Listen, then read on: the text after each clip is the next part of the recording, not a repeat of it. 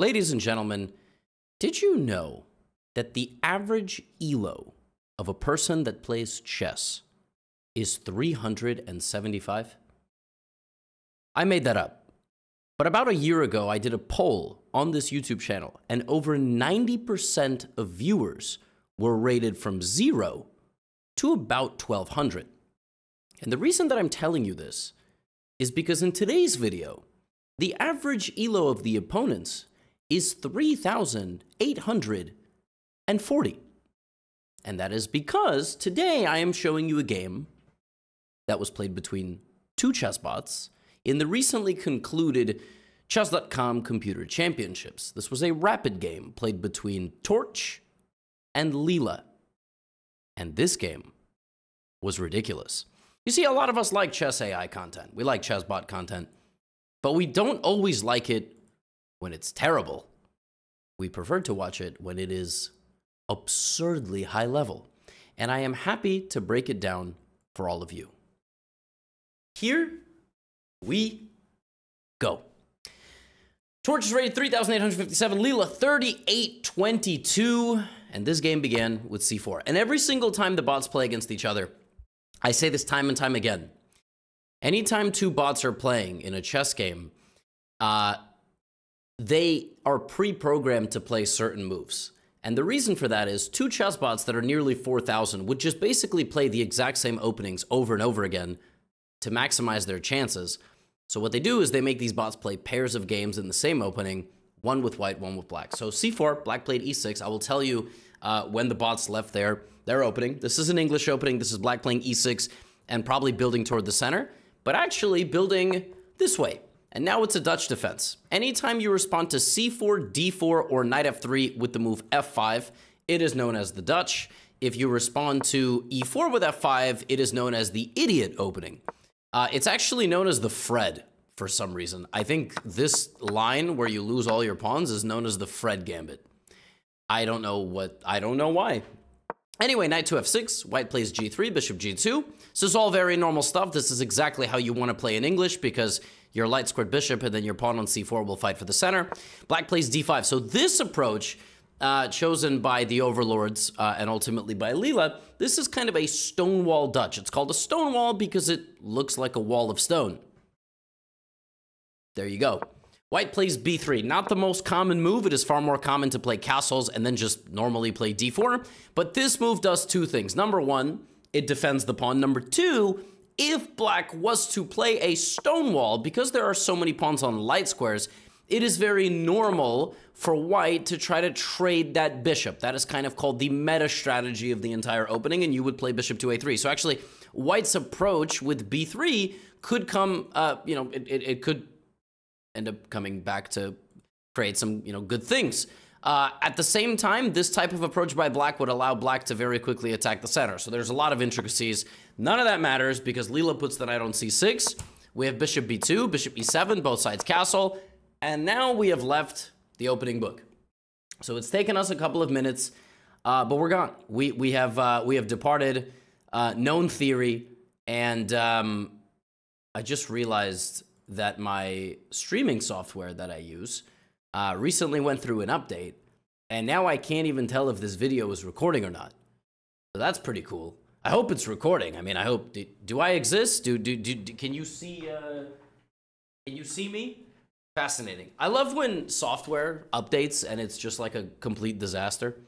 Anyway, white plays d3. So torch in this position doesn't play d4, doesn't you know, doesn't block the diagonal, and instead is just kind of hanging out in this position. And so the very first move that Leela makes on her own, on its, you know, Leela strikes me. That's a cool name. I feel like people are gonna name daughters Leela. This just sounds like a cool. Maybe there's like some origin or something. I don't know. It's a cool name though. A4. Leela plays A4. And the idea of A4, it's actually very normal to sacrifice your H and A pawns when the result would be a damaging of your opponent's pawn structure. It's very normal to do stuff like this, especially when you haven't castled that way. If you have a rook behind your pawn, it is a very normal thing to do. Uh, Torch takes in the center and then takes like this. And I think Torch did that because Torch knew black would not take with the queen because that would walk directly into the bishop.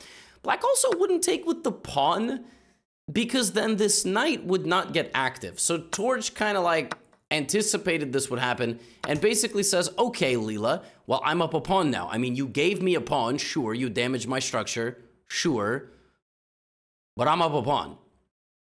So good luck, right? Queen d6. With the simple idea of at some point walking over here and ultimately winning this pawn. Queen d6 is a really dumb looking move because it, it just walks right into this bishop move. But actually, black wants to go here.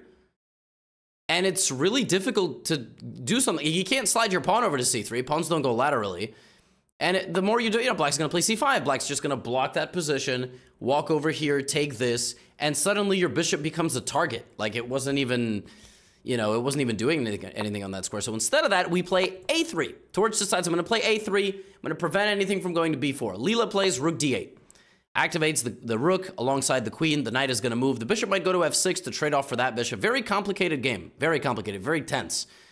So at this point, anticipating that black is going to try to take some space in the center, anticipating that a bishop trade is coming, Torch plays d4. This move takes away squares from these pieces and also prevents bishop f6 from being an exchange. So it takes some space. Torch wants to go knight d2, knight c4, put the knights on e5, and, and, and go ahead. So bishop f6. Now, you asked me in this position. Why Torch did not play knight bd2, I can't tell you. But I think it has something to do with the fact that black would play knight b6, stopping knight c4, and also attacking the pawn. I think that's why Torch did not play that. Instead, Torch played a move rook e1, which I can't really explain to you.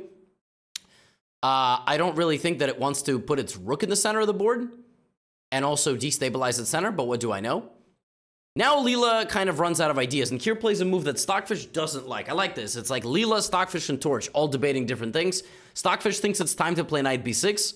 It thinks it's time to go for this pawn. Leela, for some reason, plays h6. So clearly it did not like making any committal decisions yet. So it plays h6. Queen c2. All right?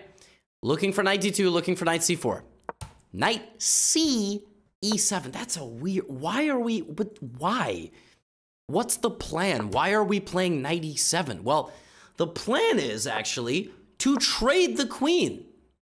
That's the plan. Is that Leela, despite being a pawn down, is like, well, if we trade, nobody can protect the pawn on a4. The pawn that I gave as an investment a couple of moves ago. These engines, they make these positional decisions, right? So Torch puts its queen on b1. They make these like really obscure retreating moves patiently awaiting the next phase of the game.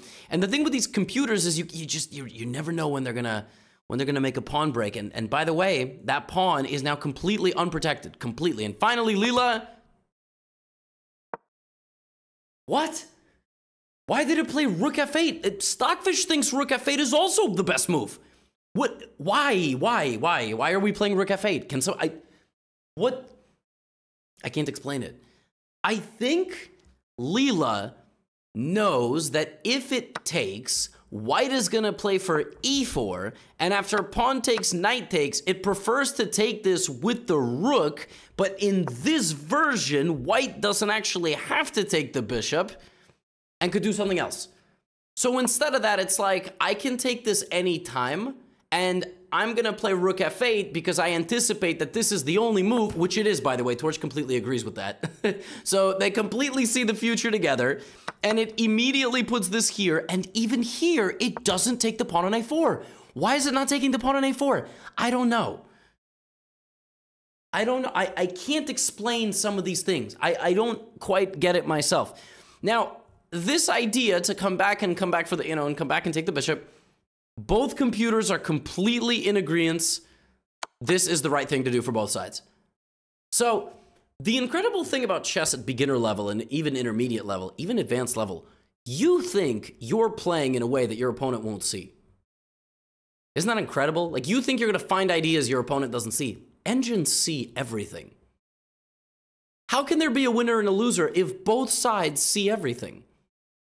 Evaluation not all computers agree with each other, all right? And so in this position, Torch plays a move I can't even fathom. I don't even, like, if I ask you what is the most natural move in this position, y'all are all going to say knight e5 because you're going to lose this pawn anyway, so you might as well activate the knight and activate the bishop. I would play knight e5. If you thought knight e5, you and I are the same chess strength. And I've been playing 20 years and I'm an international master. So knight e5 is, yeah, that's a pretty good move. Yeah, yeah, uh, Torch plays a5. It just decided that losing this pawn was better on its own terms. It prefers that black either moves the rook to that square for some reason, or black does this. Now, incredible thing is, if black splits these pawns apart, the evaluation goes from 0.5 to 0.9. Why? Isn't that incredible? Half, nearly half a pawn more if the pawns are split. If that doesn't teach you a mini lesson in the importance of pawn structure, keeping your pawns together, right?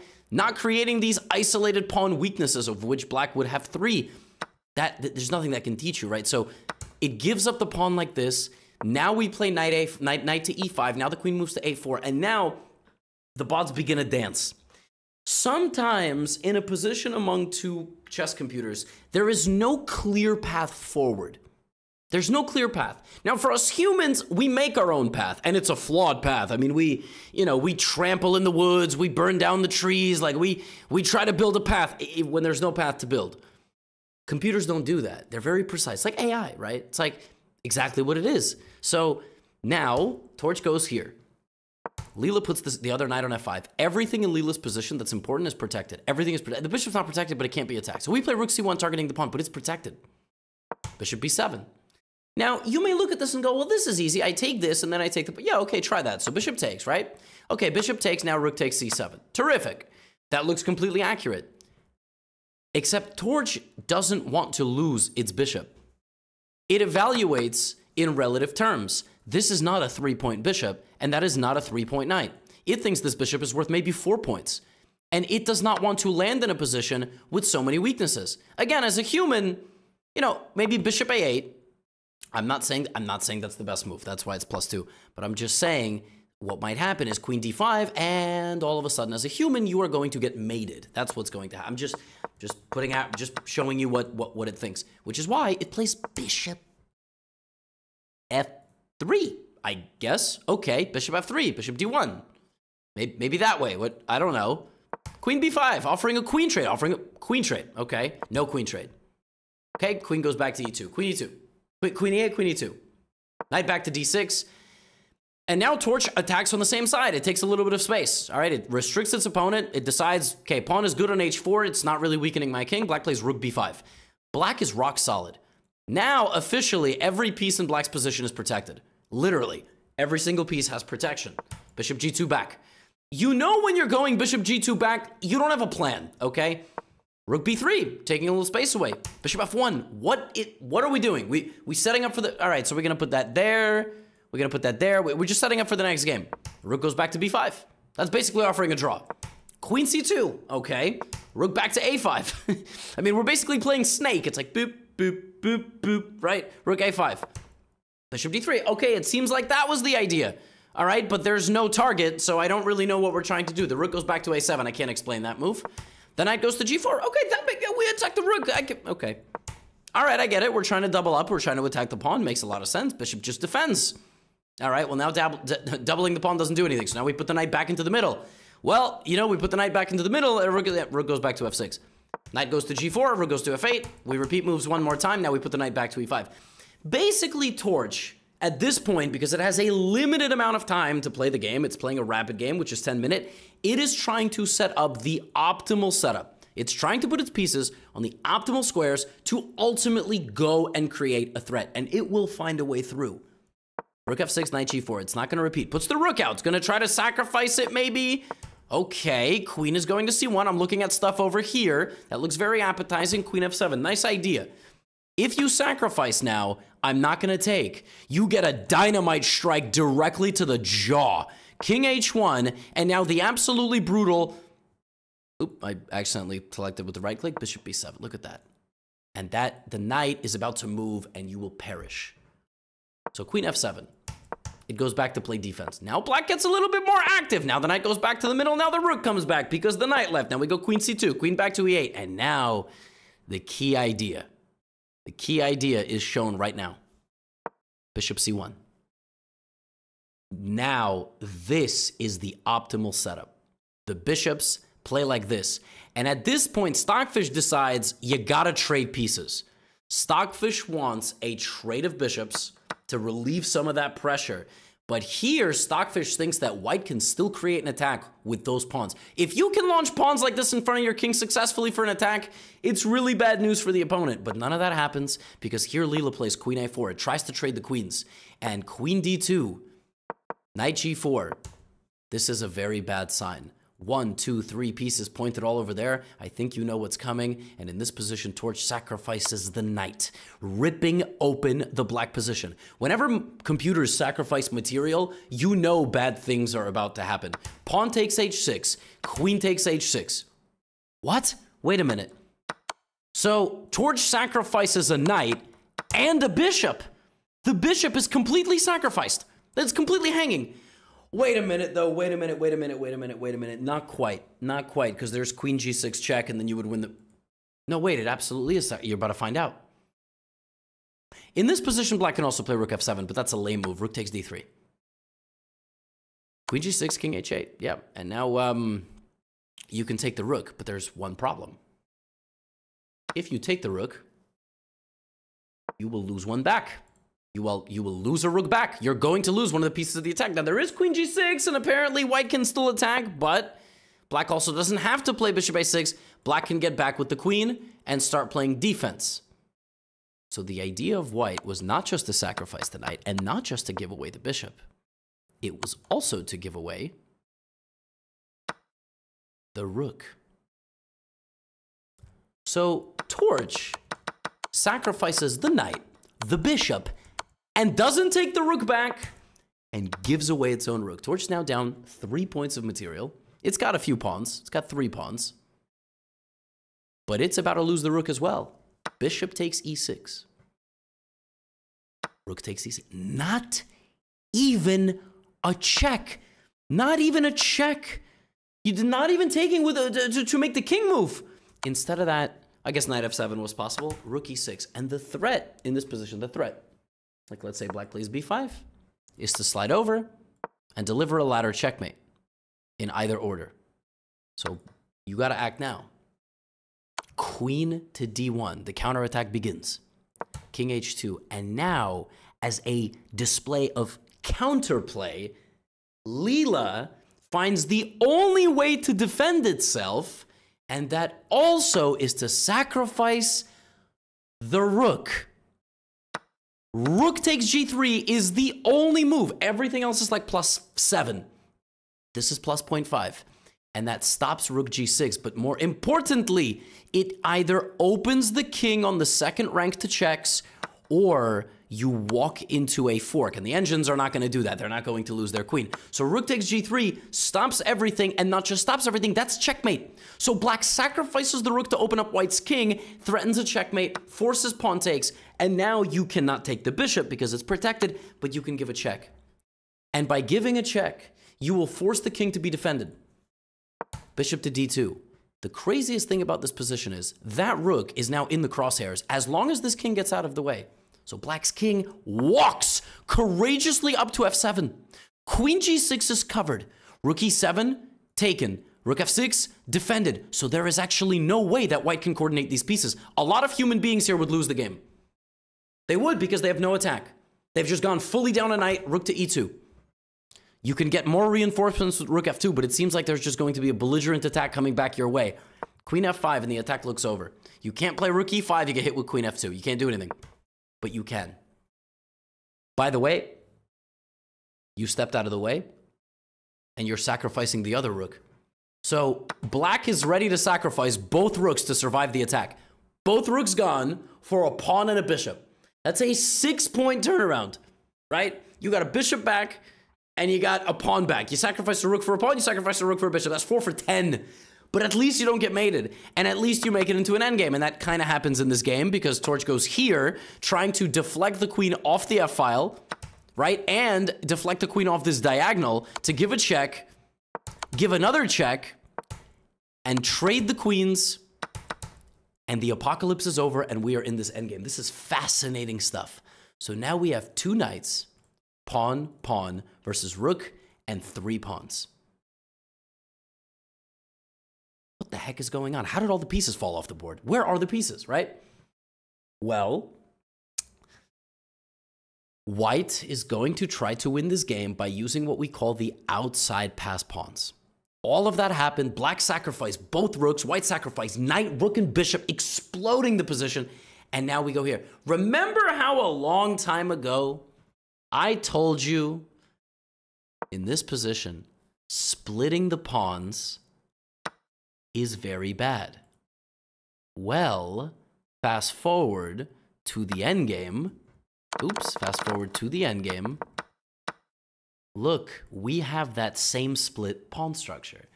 If black did not have to take the bishop, like let's say it was this, uh, it was, uh, I'm gonna just make, let's say knight b7, rook d2, knight takes a5. Look at the evaluation. It's zeros. But because black has to take the pawn like that, with the pawn like this, this is losable.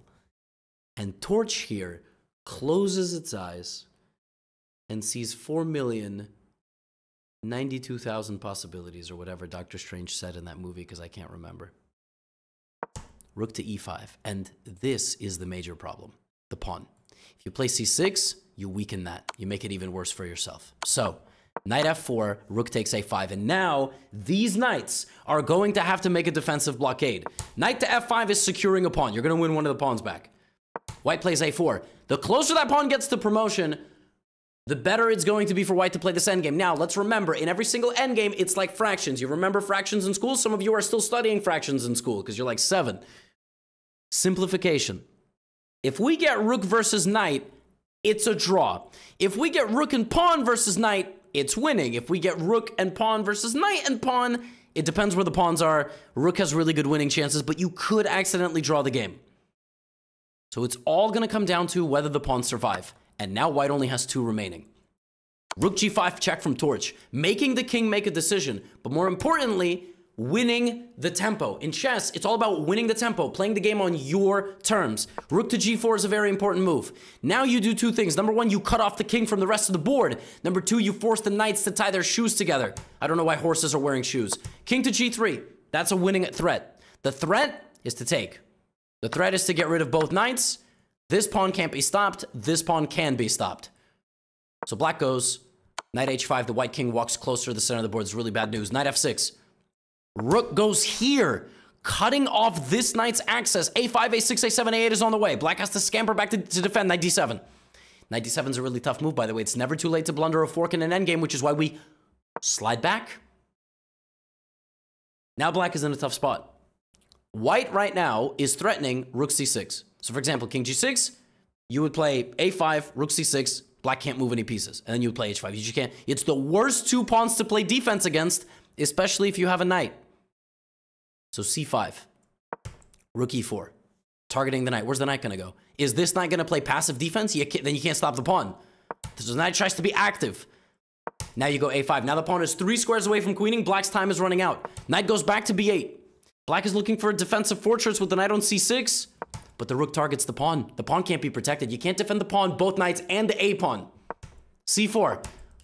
That is so important. You could have tried to play rook c5 in this position, then I would have went c3.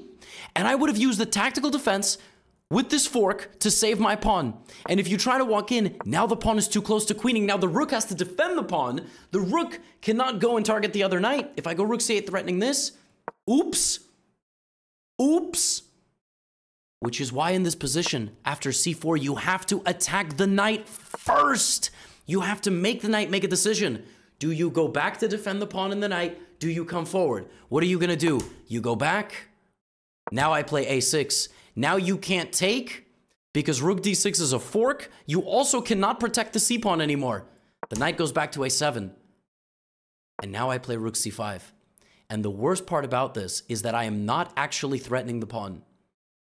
I am actually threatening if knight a6, this That is the dagger. The fact that you needed to defend yourself stacking on the A file, my threat is on the pawn, but the bigger threat is on your knights. King g6, and this will literally be decided by one pawn. Rook c4, the knight has to go here. Now white goes rook c5, and it's just a matter of which way will the king commit. Will the king go to the h pawn? Will the king go to the a pawn? And white cannot win this game without the true hero of the moment, which is the king. So the truth is, if if White was told right now you you can't touch the king, White it can't win because it's a it's a blockade. It's a complete blockade. You're not going to get these pieces out of there, which is why the winning idea here would be to play something like king. But Rook d7 is a flex. Rook d7 is just mean. The idea of Rook d7 is to give away the pawn. Like Torch has a sense of humor. It's like take my pawn, leaving me with one pawn, and then king f4. King g6, king e4, king f6, king d5. You can't get any closer. The king is blocked out. Can't get any closer. You can't move anything. Can't move the knight because I take that knight. Can't move this knight because I take that. You can give me a check. King c4. You can't give me another check. If this, rook a7, knight b8, the knight is trapped. If it goes here or here, rook b7. I mean, how brutal is that that you get this close, but now your knight cannot escape the edge of the board? brutal, which is why king g5, h7, and the game is over. I make a queen, and the fastest way to checkmate, swarm the king with checks, and rook d7 is the delivery of the checkmate. What a game, what a fascinating battle between these two bots, where white shuffled, looked for the optimal setup to crack the black position, and ultimately lined up the pieces in a menacing formation, sacrificed the knight, sacrificed the, the bishop, sacrifice the rook, and then how about, how, can we give some props to Leela as well? Sacrificing its own rook to play defense, and a little bit later sacrificing another rook to extinguish the attack. But unfortunately, it was too little too late as the rook managed to win the only pawn weakness and utilize the outside pass pawns uh, to uh, to win the game. And and and I just wonder, like, at what point the bots knew that those pawns would play a pivotal role in this game. I, I really just that's what blows my mind. That's what fascinates me. And, and I don't know. I have absolutely no idea. And I find that totally fascinating. So uh, that's all I have for you today. Get out of here.